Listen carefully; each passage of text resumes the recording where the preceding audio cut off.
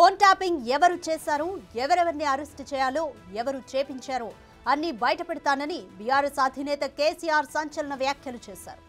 రెండు రోజుల్లో phone tapping పై హైదరాబాద్లో అన్ని విషయాలు మాట్లాడతానన్నారు. పదేళ్ళు తెలంగాణకు ముఖ్యమంత్రిగా ఉన్నానని ఏం జరిగిందో అన్ని రాష్ట్ర ప్రజలకు సమాధానమిస్తానని కేసీఆర్ స్పష్టం చేశారు.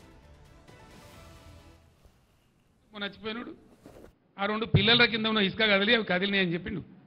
అంటే జరుగుతూనే ఉంటాయి. చాలా చాలా బరీలలో జరుగుతాయి చాలా వాటిలలో జరుగుతాయి. మొన్న కదా గంగానదిలో నిన్నగాక మొన్న పేపర్లో ఫోటోలు వచ్చినాయి.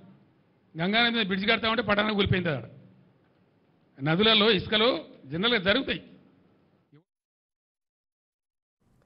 రైట్ మోర్ డీటెయిల్స్ మా ప్రతినిధి సైదులు అందిస్తారు. సైదులు తొలిసారిగా బీఆర్ఎస్ అధినేత కేసీఆర్ ఫోన్ ట్యాపింగ్ పై స్పందించారు.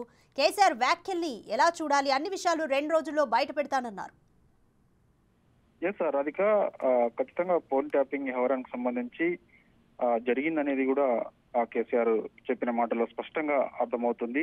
ఫోన్ ట్యాపింగ్కి సంబంధించి ఎవరు చేశారు ఎవరెవరిని అరెస్ట్ చేయాలి ఎందుకు చేయాల్సి వచ్చింది దీని వెనకాల ఎవరున్నారు ఎవరు ప్రోద్బలంతో కొందరు వ్యక్తుల ఫోన్లు ట్యాపింగ్ చేశారు అనేది కేసీఆర్ కొద్దిసేపటి క్రితమే ఆ, సిరిసిల్ల తెలంగాణ భవన్లో మీడియా సమావేశం ముగియగానే వెంటనే ఫోన్ ట్యాపింగ్ పై కేసీఆర్ చిట్చాట్ చేశారు. అతను ఒక్క నిమిషం పాటే ఈ ఓన్లీ ఫోన్ ట్యాపింగ్ వ్యవహారానికి సంబంధించి మీడియా మిత్రుల ముందు మాట్లాడడం జరిగింది. సో ఖచ్చితంగా నేను రెండు మూడు రోజుల్లో ఫోన్ ట్యాపింగ్ వ్యవహారానికి సంబంధించి హైదరాబాద్లో మీడియా సమావేశం నిర్వహిస్తాను. ప్రత్యేకించి దాని గురించి మాత్రమే రాష్ట్ర ప్రజలకు తెలియజేస్తాను. ఎందుకంటే నేను ఆ, పదేళ్ళ పాటు తెలంగాణ రాష్ట్రానికి ముఖ్యమంత్రిగా ఉన్నాను కాబట్టి సో నాపై కూడా కొంత బాధ్యత ఉంటుంది. నా హయాంలో ఫోన్ ట్యాపింగ్ జరిగిందని చెప్పేసి ఇప్పుడు పెద్ద ఎత్తున వార్తలు వస్తున్న నేపథ్యంలో అప్పుడు ఎవరెవరు ఎందుకు ఫోన్ ట్యాపింగ్ చేయించారు? ఆ, నెంబర్లు సంబంధించిన కొందరు వ్యక్తులపై ఎందుకు నిఘా పెట్టాల్సి వచ్చింది అనేది కూడా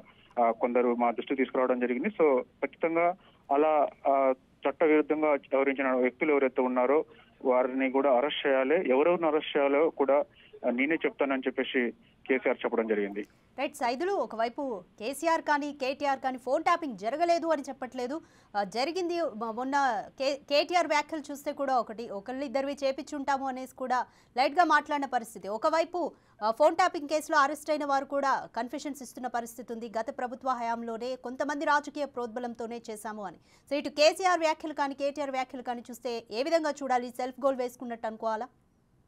తప్పకుండా. వాస్తవంగా ఫోన్ ట్యాపింగ్ వ్యవహారానికి సంబంధించి ఇప్పుడున్న అధికారులు ఎవరైతే ఉన్నారో విచారణ సమయంలో ప్రభుత్వ పెద్దల యొక్క సహకారము వాళ్ళ ప్రోద్బలంతో వారు చెప్పినట్టుగానే మేము నడిచాము. అందుకే కొందరు ఫోన్లు ట్యాప్ చేశామని చెప్పేసి విచారణలో ఒప్పుకుంటున్న పరిస్థితి కనిపిస్తుంది.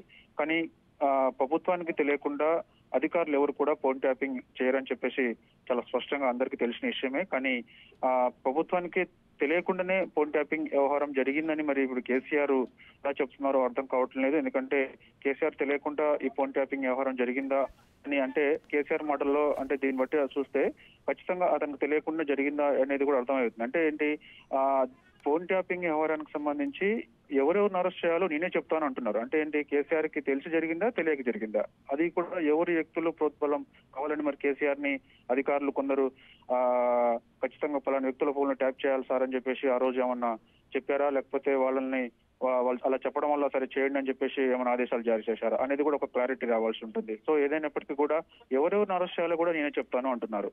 సో ఎందుకు చేయాల్సి వచ్చింది కూడా నేనే చెప్తా అంటున్నారు. కో- సో ఖచ్చితంగా రాష్ట్ర ప్రజలకు ఫోన్ ట్యాపింగ్ వ్యవహారానికి సంబంధించి పదేళ్ళు ముఖ్యమంత్రిగా ఉన్నాను కాబట్టి పూర్తి బాధ్యత నాదే కాబట్టి సో ఖచ్చితంగా నేను తెలియజేస్తానని చెప్పేసి చెప్తున్నప్పటికీ మరి అధికారులు విచారణ సమయంలో కేసీఆర్కి సంబంధించి ఆయాంలో ప్రభుత్వ పెద్దలు చెప్పినట్టుగానే మేము ఫోన్ ట్యాపింగ్ చేశామని ఒకవైపు చెప్తున్నారు మరోవైపు మాకు తెలియకుండానే ఇలా జరిగింది అనేది కూడా కేసీఆర్ మాటలో అర్థమవుతుంది. సో చూడాలిగా ఈ రెండింటికి సంబంధించి పూర్తి స్థాయిలో విచారణ అయిపోయిన తర్వాత మనకి త్వరలోనే ఒక క్లారిటీ వచ్చే అవకాశం కనిపిస్తుంది. ఇటు కేటీఆర్ వ్యాఖ్యల్లో కూడా ఒకటి రెండు ఫోన్లు ట్యాపింగ్ జరిగితే జరగవచ్చు అని చెప్పేసి కూడా సికింద్రాబాద్ పార్లమెంట్ సమీక్ష సమావేశంలో ఇటు కేటీఆర్ కూడా చెప్పడం జరిగింది కాబట్టి సో ఏదేమైనప్పటికీ ఫోన్ ట్యాపింగ్ వ్యవహారం అయితే మాత్రం ఖచ్చితంగా జరిగింది అనేది కూడా ఒక క్లారిటీ వచ్చింది. సో ఇక దీని వెనక ఎవరున్నారు అనేది కూడా త్వరలోనే నేనే బయట పెడతానని చెప్పేసి కూడా కేసీఆర్ చెప్తున్నారు.